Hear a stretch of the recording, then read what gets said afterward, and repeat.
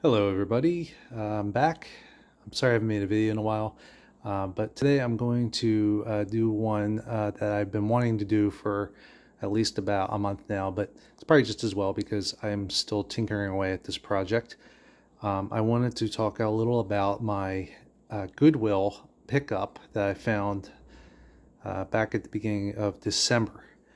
And um, this is a Arcade1Up Pac-Man that someone had dropped off at Goodwill uh, that they were selling for $50. It's the Gen 1 Pac-Man with Pac-Man Plus. Um, I got it off even cheaper due to a military discount thanks to my sister. I just happened to go over there the one day. I really don't go over to Goodwill too often and it was almost like it was meant to be. I went back to the furniture section, and uh, there it was. I, I, was gobsmacked to see this just sitting there at a Goodwill for fifty dollars. Um, the big drawback, though, uh, was it didn't work. It has a um, it, it, it booted up. The menu came up. The buttons seem to work uh, because you can choose from two different games. You can choose from Pac-Man and Pac-Man Plus. Uh, most of these Arcade1Up units have a little selection of games. At least, at least these first gens only have one or two. Uh, Galaga Galaxian and Pac-Man, Pac-Man Plus, for instance, here. And um, the newer ones now can have up to like 12. As a matter of fact, these little guys here, um, you can get uh, like five games, four games on each, just for the, the little counter arcades. Um, the, these units usually sell for about maybe $300 new um, and uh, can go up to a lot higher in price these days. This is a Gen 1 model, so the um, refinements weren't quite as good as they are these days. Um, I've made some alterations. Uh, the thing booted up. Um, you were unable to actually play a game on it, though. Uh, there were no returns at Goodwill because of this. So um, it's in really excellent condition though, considering. And um, even for the money for uh, $35 is what I paid at the door. Uh, it, even if you, it's a fixer-upper, I figured if I could fix it and play Pac-Man, that's fine. I replaced the buttons. It was a no-go, which I had a feeling wasn't going to work. I think it's a PCB issue. Uh, so I just figured eventually I would get to just throwing a um, Raspberry Pi in it and that's what I did. And I did some other little modifications. And I'm feeling pretty confident enough to share the results at this point. Um, the only big problem with it, unfortunately, is you can maybe see some, it's a little hard to see, it's a little bright in here, the weather's kind of changed a bit, and I apologize for some of the wind outside. There are some really uh, little scratches here and there that, that kind of annoy me, but hey, what are you going to do? You can see one right there. Um, Unfortunately, I don't know, I guess the person who turned this in just got tired of it not working and well, I uh, took the rewards with me. So anyway, uh, I'm going to take you for a little tour of what this thing does and what I've done to it. And uh, hopefully uh, you'll be a little bit entertained or interested. So um, I'll just start with the outside first before we go into the depths of it. Um, when I originally got this, this this had a uh, a nice Pac-Man graphic all over it. It had a single joystick here for Pac-Man. It's Pac-Man, so you don't really need tons of buttons or anything. That's all it's playing. So there was a hole here uh, that had a um, Arcade1Up uh, stick for the Pac-Man. Um, over here, there were two holes because for the two buttons. There was a select uh, player one and uh, insert credit um, swap them out for rudimentary ones here. And I'm going to take this open and just show you what I did inside in a minute. Uh, but uh, what I did was I ended up having to make alterations to this piece. Now, the problem with these decks, these early ones especially, is that the um, the the artwork it didn't have plexiglass on these Gen 1s. I know that some of them do now. Actually, a lot of them do now. Even these little guys have it to kind of protect that artwork. And um, unfortunately, uh, just in the span of a week, of, of just even sitting here um, messing with it and, and your hand leaning on this paint. Uh, it, it would rub off and get all the side of your hand. It was nasty and disgusting. So in the in the midst of, of going in and converting this to a Raspberry Pi uh, interface and making it more usable, obviously, I've uh, had to do some uh, modifications in that respect too, just to kind of give it a cleaner look. So uh, what I've done is um, ran over the, the original art, unfortunately, with, uh, well, unfortunate, and it's a shame that the artwork can't be used, but it just looks nasty and dirty. Um, this uh, nice carbon vinyl that I picked up off Amazon for six bucks. Uh, it was my first attempt, and I, I, think it came out pretty decent. Um, I have enough here that I could do another run eventually, but um, it's got a nice uh, sheen to it, and uh, it's pretty fingerprint resistant. And uh, I mean, there's a little little edging here that I could have probably done a little better, but um, this is pretty much played in a, in a darker room. I, have actually apologized. It's the, the lighting in here is getting awful. If I open these blinds, though, it's going to be even worse. Um, this weather is crazy. So um, what I did was, uh, when I open it up, you'll be able to see a little better. But I took the um, single hole that this was, there were three holes originally, as I said, for the coin player one. There's a joystick hole here. I, I repurposed them. I made a, I just turned a one hole into a button. Uh, I drilled a, using a step bit tool, uh, nicely provided to me by my brother. I uh, drilled a hole here for the uh, a new stick. Uh, I put a, a, second button, a third button, and then just reuse those old buttons there. The one thing I did do, and I considered early on, do I even want to do this? And now looking back, I probably should have just maybe not even done this. I've kept the Arcade1Up original hole ports here. Um, I was thinking somewhere down the line, maybe I would use these buttons. I, I know you can actually mod these buttons now to power on and off your, or even adjust volume, etc. for on, on the Raspberry Pi itself, just running to the uh, the I.O. board. Um, but it doesn't even look like it might be even worth the effort, to be honest with you. Um, this is a Gen 1, and it doesn't have those uh, the newer ones where it's like a little bit of a spring to adjust the volume in that respect, and even the power button here. Um, I'm thinking of a different modification overall. Uh, I'm actually considering putting these now maybe up here and just boring these out a little uh, bigger. And um, I'm considering putting uh, a spinner here and maybe just an al alternate, you know, a fourth button there for whatever, maybe a menu selection or um, I've actually used that button um, for for a couple other games, like in Punch Out as the um, Super Punch Out as a knockout or uh, the duck button um, occasionally. Uh, but I wanted to keep it simple. This is a vertical screen because um, it's Pac-Man. So uh, the games that I, I, plan to go with here are going to be vertical related. Um, and that's why, and, and, I'm a classic gamer. I, I, don't need, I don't even need Street Fighter for crying out loud. So, um, I mean, not that Street Fighter is not classic, but you know what I mean. I, I, was looking to keep a lot of the old 80s stuff. I wanted to keep that going. Stuff that's easy to play, pick up and go, um, is just simple enough for a single player to sit and have a good time with. Um, and thinking of that, I, I went through a bunch of vertical games, especially that I know I prefer to play and ones that would maximize the amount of buttons needed. So I figured at the very least I needed three buttons uh, for something like Gunsmoke, because in Gunsmoke you can fire in three directions, left, right, middle, and hybrid between.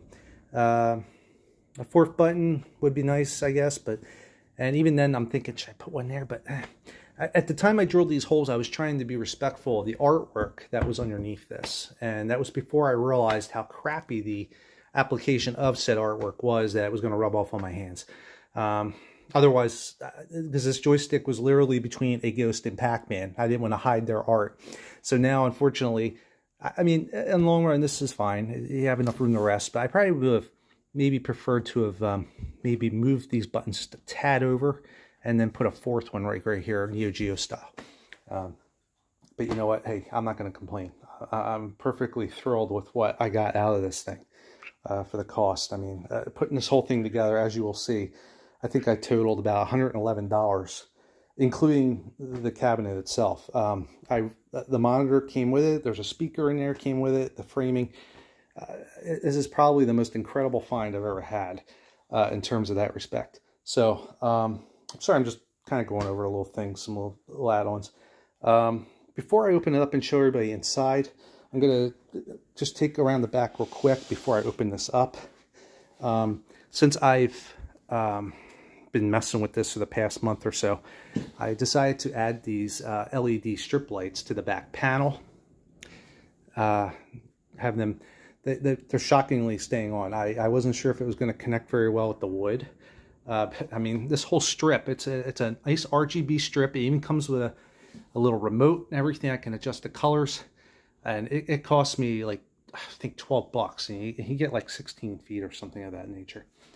Um, so going down a little bit, you can see it goes all the way around. And eventually, this actually sits over in a corner across the room. And when you lean it up against the wall, it gives off this really nice little uh, retro um, glow to the room, uh, the corner, just nice and subtle. So I have the adapter for the LED uh, attached right here to the uh, back panel. And this is the power supply for that LED strip that I just run through the already existing power uh, cable hole for the uh, Arcade1Up. So it, it, just fell right into place. That just loops around. There's a little IR here for the receiver. Um, this is the, the, little main, the main um, plug that comes out from the power strip that is inside here that I put in. I just kind of uh, dug out a little hole so that that's flush.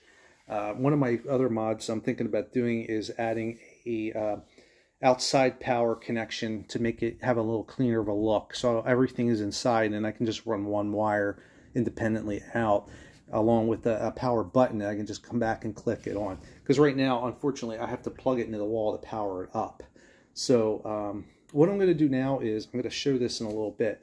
But uh, I'm going to take a second. I'm not going to bore everybody. I'm going to take these uh, out. Now I give a tour of the inside and all the modifications I've made inside. And I'm just going to take these screws out real quick. I'll be right back. Okay, so voila, there we go. Um, as I said, we have this here. This attaches to the LED power, which goes inside the power, because I have the um, power strip inside. So all I have to do is feed this through and lift this up. And this whole panel just pops right off, and I can put it right over here for now. And we can take a look at the Frankenstein workings inside the machine. So uh, I'll do a quick pan down. We can take a look. I'm going to go over everything real quick. Looks like I got a little dirty still back here. It's funny how you move things around and stuff shifts. So, all right. First, we'll start the interesting part. Uh, this is the back of the Arcade1Up monitor. Obviously, this is not insulated.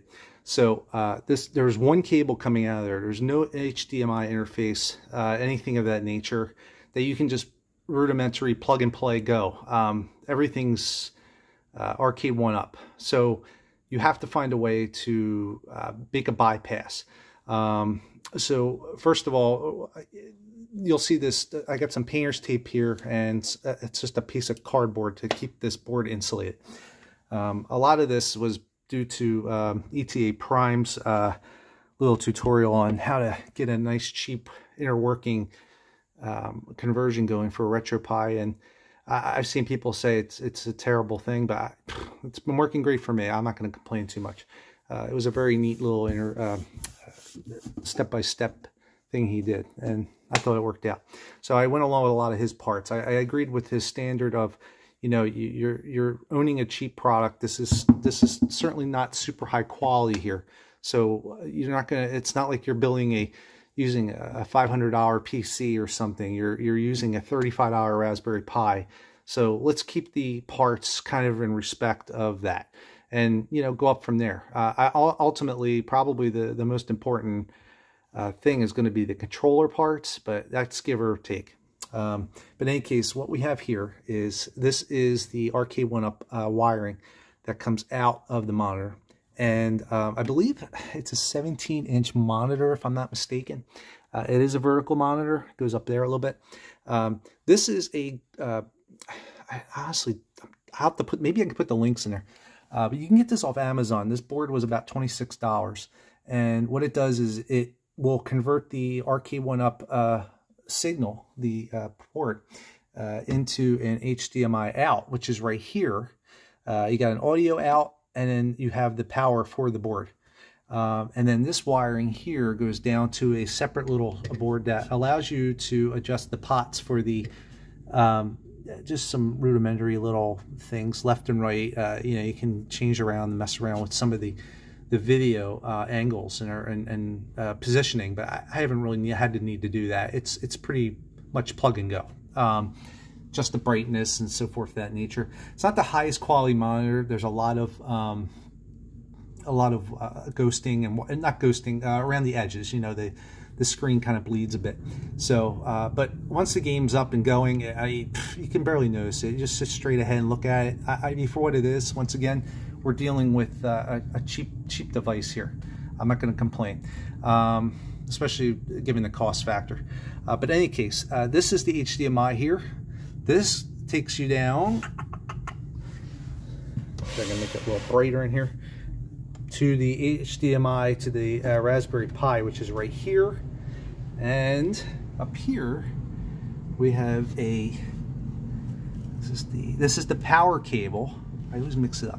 This is the power cable. This is actually the Arcade1Up's power cable that I've reused to power this board.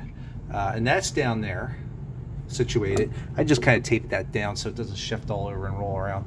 Um, and this is, like I said, this is technically one piece, I guess. I mean, you don't even, you probably don't have to pull, plug that in, but it's if you need to access the, the monitor uh, uh, settings. Uh, this is an audio jack cable, just a regular uh, stereo audio jack. That runs down now to this amplifier. This amplifier is how you're going to get sound through the existing Arcade1Up speaker, which I will show you in a moment. Um, those wires go up under here to the Arcade1Up speaker that is underneath the control deck, um, which you couldn't really see when I was showing you earlier because the vinyl is covering the holes. Uh, I was a little unsure if I was going to be able to do that because I don't want to muffle the sound, but this thing is plenty noisy, and uh, I, I can't tell a difference. I mean, you're dealing with Donkey Kong. It's not like it's going to be stereo surround or anything. Uh, it's perfectly acceptable to me. Um, there's other options you can do for this speaker situation.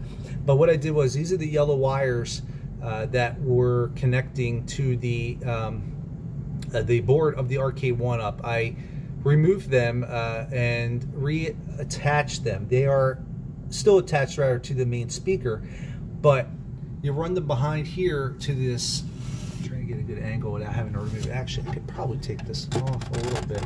I velcroed uh, velcroed these all to the unit so that way it makes everything kind of accessible to a point but they run into the back of this amplifier this amplifier was about $15 on Amazon uh, you can adjust the treble the bass. I mean like I said once again you're dealing with arcade beeps and bloops for the most part. Uh, so I don't know how much of a difference that's going to make.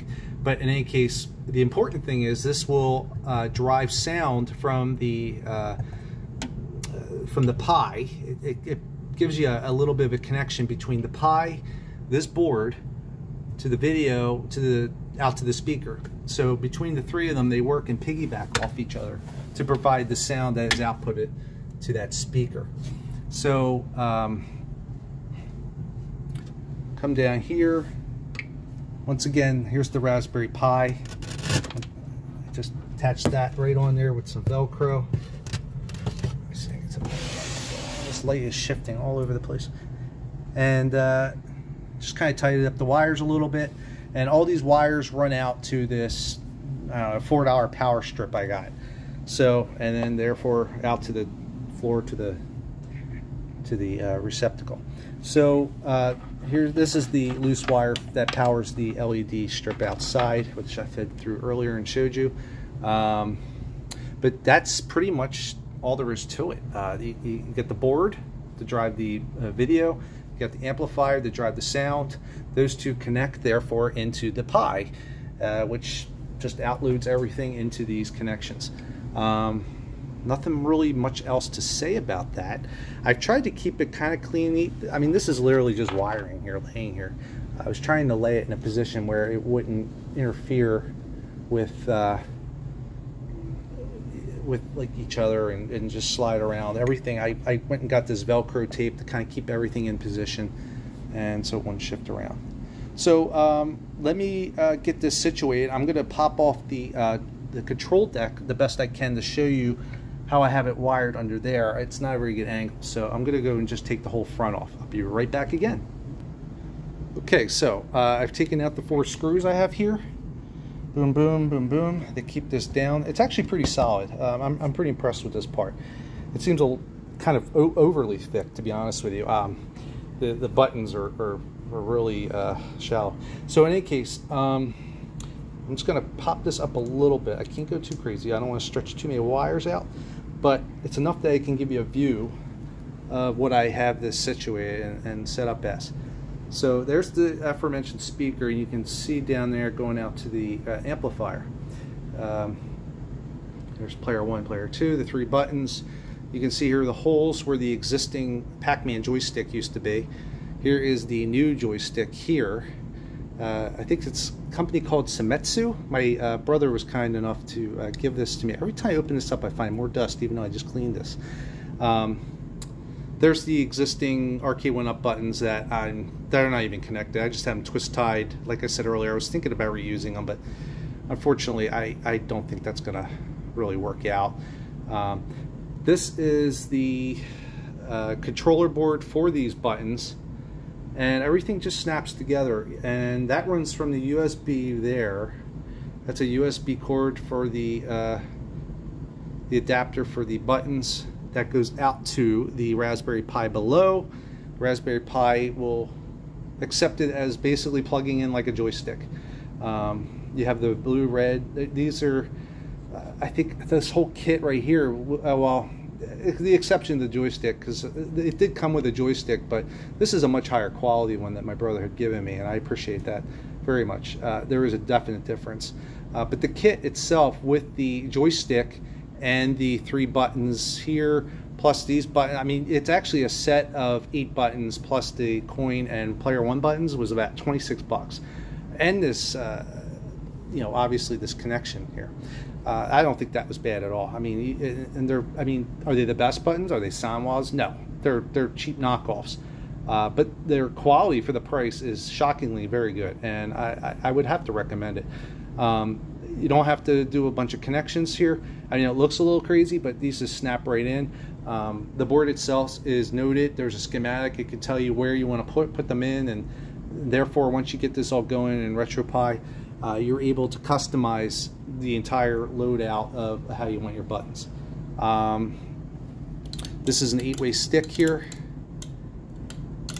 Now, a lot of the older games used four-way, um, so there's a mixture apparent because I do like my uh, shooters, um, you know, DonPachi and, and Aero Fighters and, and Slap Fight, games of that nature, Truxton.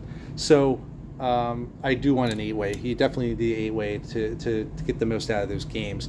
Now they work, I mean, but obviously an eight-way isn't going to be as accurate as a uh, say like a Donkey Kong four-way or a Pac-Man four-way, but there's ways around it, and it's it's been working fine.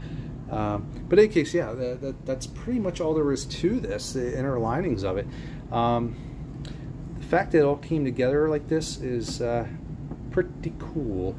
So, uh, let me get this all sealed up and back to going and I'm just going to do a quick rundown of the software that I've been working on. That's been the most time consuming. I knew it would be the most time consuming.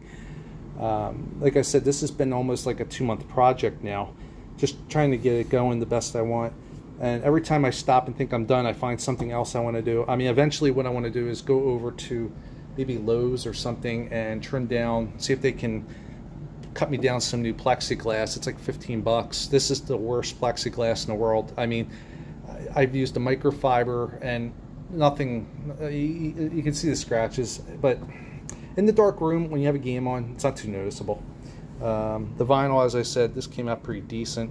I would love to show you what I what I put under it. Maybe I can insert a picture what it looked like before. I may go over it again because I some of the stuff I cut a little short here. You can actually see the white from where the um, artwork underneath was is poking through. It's it's, it's so awful. Very low quality art uh, considering the price they charge.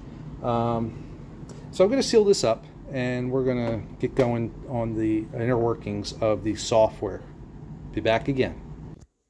And so I've moved the uh, cabinet back to its normal position in its corner in this in our little uh, family room here. Um, unfortunately, this is as dark as I could get it. I'd rather have it a little darker just to show off the screen a little better. But um, I'm going to plug this in now and show you how it works out. As you can see, the LEDs are blazing. RetroPie is booting.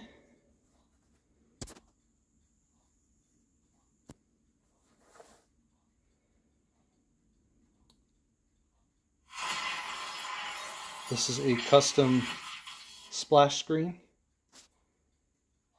I removed all the script as best I could. And it should boot right into the main system, just like that. Uh, I forgot if I mentioned, these are LED buttons. Uh, and then this is the Seimitsu joystick. So uh, let me show you these LEDs real fast here. They're blazing along pretty well. It worked out fantastic. I'm, I'm really thrilled with that. It just adds a nice retro 80s glow to it. So, um, and what's nice, it, it, like I said, it even came with a, a little remote, which I have right here. and allows you to cycle through colors at your disposal. I kind of keep it like a nice moody blue type of thing going, maybe purple. Uh, just the brightness and everything, so forth. The one thing uh, I would love to work on figuring out is a volume um, situation where I can adjust the volume. Each game seems to be either louder or quieter than the other. And um, that's still something I'm working on. Right now, for me to adjust the volume, I literally have to take the whole back panel off, go in and manually adjust the knob on that amplifier I was showing earlier.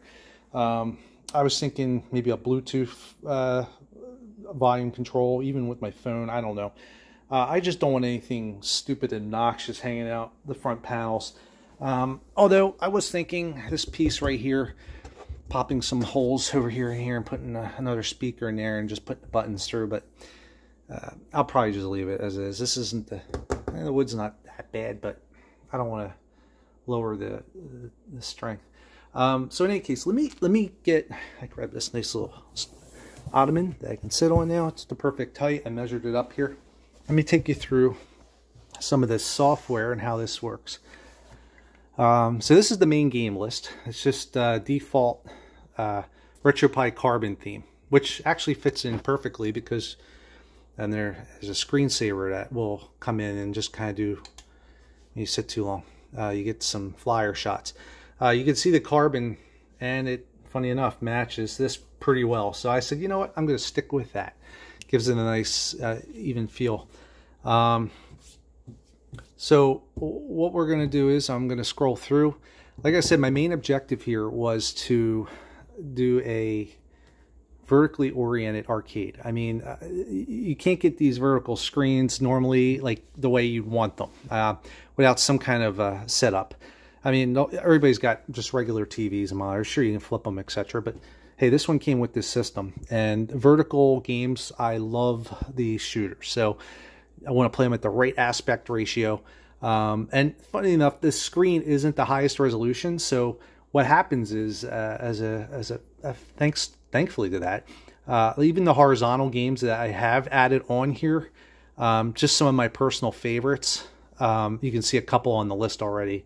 Uh, Alien Syndrome and Altered Beast are both horizontal games. They actually surprisingly fill the screen pretty well um, because of that lower resolution uh, it's it's probably more like 80% instead of maybe 50 or 60 uh, of the screen real estate. So um, let's just start with something simple here. Let's start with 1942. But first, I want to give a quick little overlay on how these buttons work. Um, I set this up so that the blue button will select the game, the red button will take you back, and the C button I guess just cycles down the list. Uh, I look at it. It looks like it ran. Yeah, it's the randomizer right here. This button X. So I never really noticed that before, to be honest with you. So um, back is red. That takes you back. I have simply arcade and RetroPie. You hit the blue button to select. You get your options for the RetroPie here. Uh, for the sake of this video, I've been doing a lot of play testing and uh, configuring emulation and so forth. So what I'm going to do is turn that off because I don't want that to get in the way. I have that enabled right now, so we're going to back out of that. You won't see any of this under normal play though. I mean, when this thing boots up, it's right here at this list of games. So, let me start down the list a little bit. Let's start right at the top with 1942. As you can see, uh, you got the artwork. I like this theme. Most of these themes are a mess. Um, I, I, don't know. It, these people can obviously maybe program, but a lot of the themes, I, am sorry, uh, don't take this personally, but I, I very weird. I, I like less is more, but functional, pertinent information. I don't need a bunch of flash. Uh, it's just a personal preference. Uh, but for me, a lot of these themes just don't work out. And I, I just ended up sticking with the bare basics. This is all you need. I mean, you got a list of games, you got some artwork, you got this cool little scrolling history about the game and sometimes just descriptions, whatever. I've actually learned some neat stuff from just sitting here looking at this. It tells you how many players, which obviously just one on this. Get your, it's just it's it's just functional. I like it. Um, that's not to put anybody aside. I mean, hyperspin things like that, nature have their place. Uh, but this is just a simple rudimentary dustbin, you know, and, and for this purpose, it works great. So um, and it's it's nice and snappy. Uh, so one of the things you can do is I have the first of all let's talk about the buttons a little more. Um, hitting this button here will bring up your main menu. I factored it to the player one button, and that allows you to scrape for the art. Uh, which I've already done. This thing's all obviously connected to Wi-Fi. You can go in and change themes here. You can change all your settings, back out with red.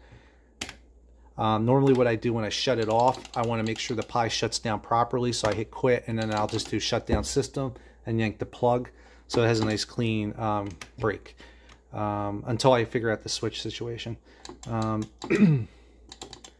yeah, you, you, pretty much don't need a lot of this stuff unless you're looking to... Uh, most of this stuff is just really for when you first get started. You can go in and change the game's information here. Um, there's 1942. This is all the scraper metadata. Um, what I've done was, I actually meant to mention it, on the back of the Pi, I did plug in a Bluetooth receiver uh, for my little Logitech keyboard, which which is great because I can just shove it right inside my ottoman here. So anytime I need to access a keyboard, pull it out, boom, I don't have to open it up and have a bunch of wires. I can just go in. Some of the some of this uh, these games have weird titles that throw the scraper off sometimes. Um, I'll save that. I it's even up there. Back out. All right, so let's cut to the chase here. I'm going to try to play and film at the same time to a point. Uh, but let's start with 1942.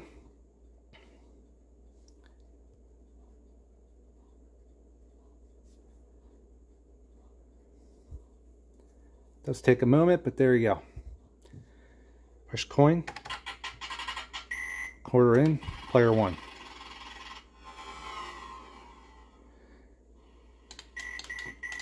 So go, you're moving around.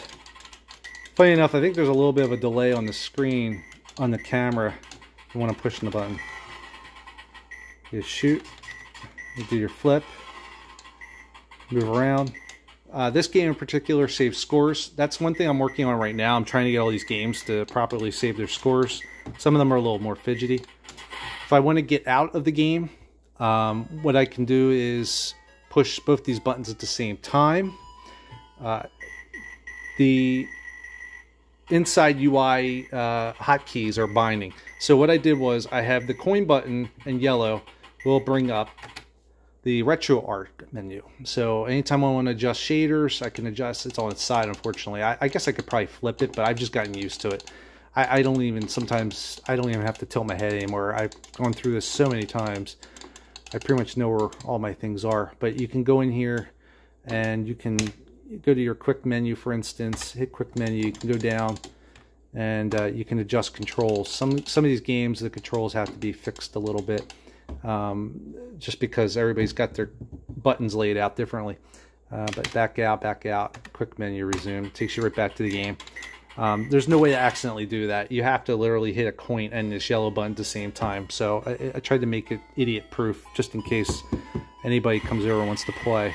They won't have any issues. So we're going to get out of 1942 and it's as simple as pushing both those buttons at once and there you go. You're back to your main menu. Um, as I said earlier, I was thinking about adding maybe a fourth button at this point, just because these are pretty much useless now in the scheme of things. I, I, I probably won't ever use them, um, and I may just drill these open, pop these up here, and put a fourth button here. And my next thought is a spinner right here, just to, to play those couple games uh, like Tempest and Arkanoid. Uh, I think that'd be pretty cool uh, to have all that, especially with this vertically oriented screen. Um, but yeah, uh, that's pretty much it. I mean, let me see, what else can we do? All right, here, here's a horizontal game. Black Tiger, one of my favorites. Uh, Shane R. Monroe of Monroe World. He knows all about this game. I know he's a big fan as well. Check him out. Sorry, my lighting's really wacky here. There you go. So, it's a vertical game. We're going to put a quarter in. Actually, that's a little strange. I'm going to have to look into this because I just noticed my high score is not there. So I, I've noticed that uh, I think this might be running on Final Burn. That was another thing I wanted to mention earlier. Um, the reason I went back and fixed that setting was you can load this thing up with various emulators. MAME 2003, MAME 2000 plus, three, um, excuse me, 3003, 2003 plus, uh, Final Burn, um, MAME 2010. Um, so each each emulator is going to run things a little differently, have different settings. Um, some of the Final Burn stuff I've noticed is having issues with these high scores, and I've been racking my head over to the point where I'm probably just going to go back to MAME at some point. Uh, but I'm I'm still twiddling around. Um, but let me give you an idea how this horizontal looks. I, I think it looks pretty good. I, I wanted to make sure I maintained the proper aspect ratios. And at first I wasn't sure if that was looking right, but it does look right. And and I think it's just because this is a lower resolution monitor that it's able to just kind of get in there and and you know portray the screen properly. It's great.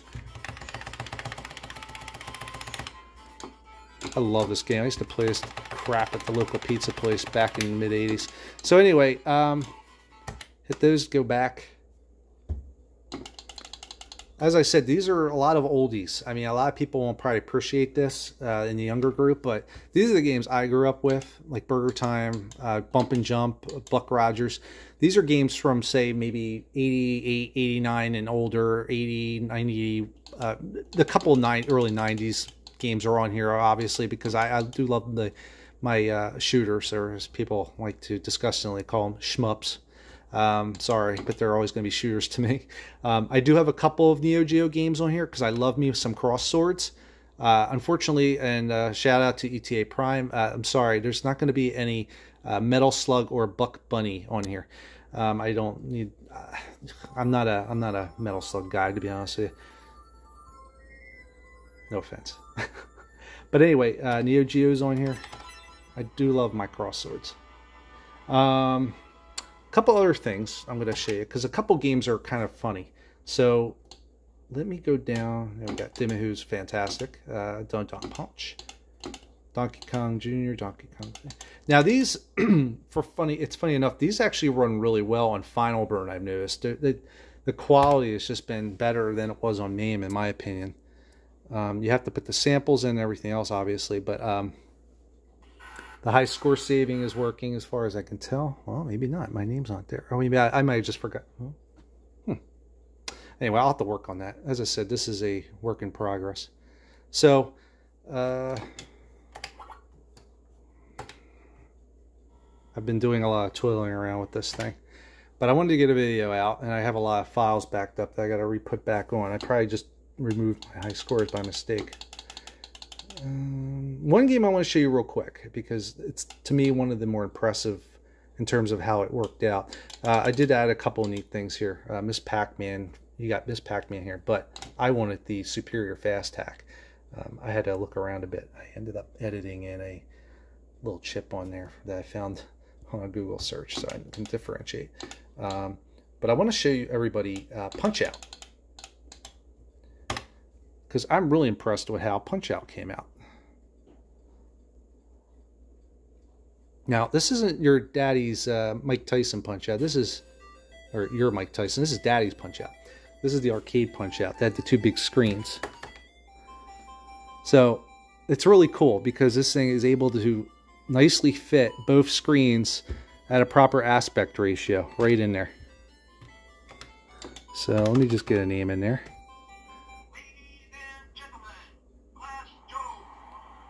Now, the big problem, this game's not a problem, but however, I'm not going to be able to do this with one hand. There's no way.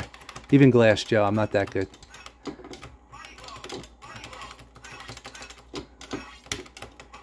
Yeah. So anyway, I, I just really impressed on how that came out. Um, what I was going to say was Super Punch Out. On the other hand, I I forgot all about it. It had a uh, where you could pull on the stick upwards to do a duck.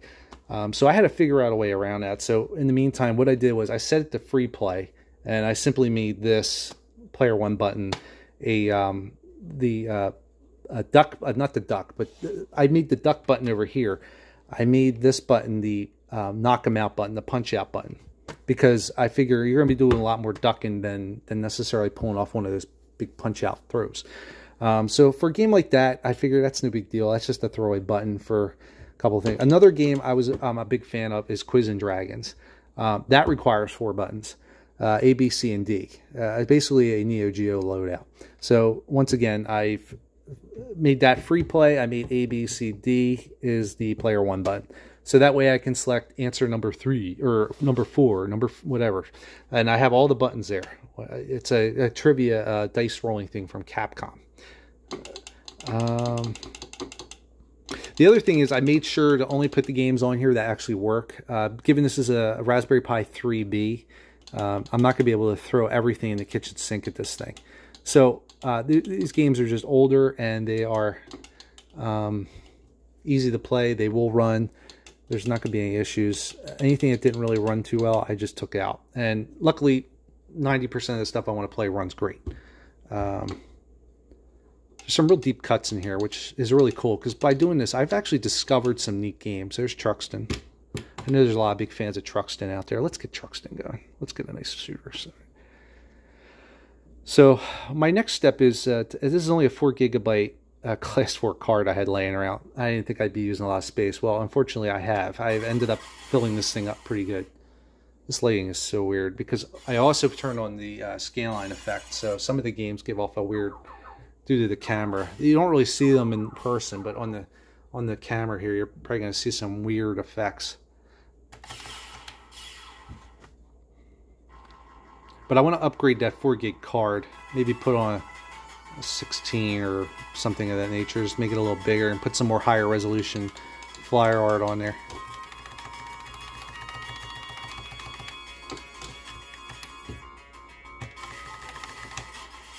So there you go. Certainly can't play that one-handed. Um, but I think that about wraps it up. I think I've pretty much gone over and said what I wanted to do. I just really couldn't wait to show this thing off. It's still a little bit of a work in progress. I think I've got it dimed in for the most part. It's probably about 90% the way I want it. Um, right now, like I said, I'm just messing around with high scores and getting things working in that respect. Um, but uh, yeah, um, actually, now that I think about it, I think I know exactly why my high score isn't there because I put in a new uh, high score dat that overwrote my old one, which I do have backed up, so I'm going to have to fix that later. Um, but in any case, uh, thank you again for uh, showing up. And I'm sorry I haven't had a video in a while. I've had a little bit of a health crisis, which is luckily working itself out.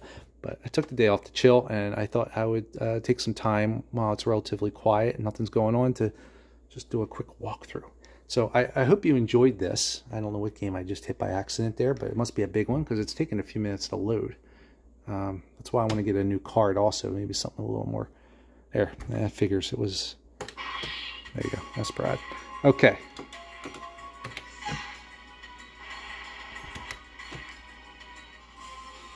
Anyway, I love the size of this thing, by the way. It's perfect just sitting in the corner here.